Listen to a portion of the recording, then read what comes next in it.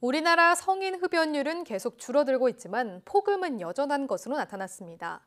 청소년들은 신체 활동이 부족하고 패스트푸드나 탄산음료 섭취는 계속 늘어나 건강에 적신호가 켜졌습니다. 한영규 기자가 보도합니다.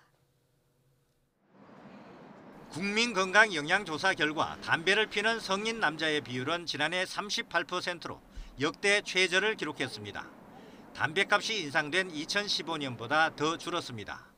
하지만 성인 남자 2명 중 1명과 여자 4명 중 1명은 월 1회 이상 폭음을 하는 것으로 나타났습니다.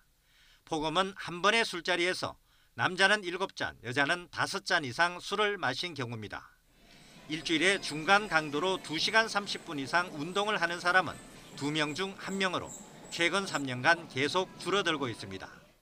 30살 이상 성인 가운데 콜레스테롤 수치가 높은 고콜레스테롤 혈증을 가진 사람은 지속적으로 증가했습니다.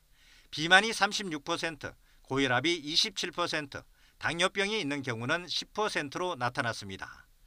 안과 질환으로는 당뇨 망막변증과 나이로 인한 황반 변성이 많았습니다. 중고등학교 청소년들은 하루 60분 주 5일 이상 운동하는 비율이 14%에 불과했고 여학생의 경우는 7%로 훨씬 낮았습니다.